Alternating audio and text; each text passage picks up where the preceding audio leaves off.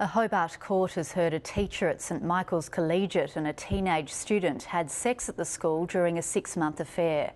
59 year old Nicholas Ockert Bester was a senior science teacher at the private girls' school when he had a sexual relationship with a 15 year old student.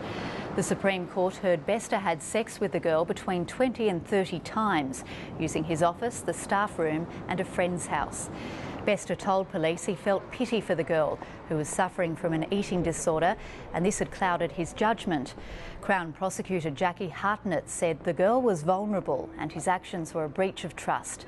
Defence lawyer Kim Baumler said Bester had lost everything as a result of the affair and he deeply regretted the relationship.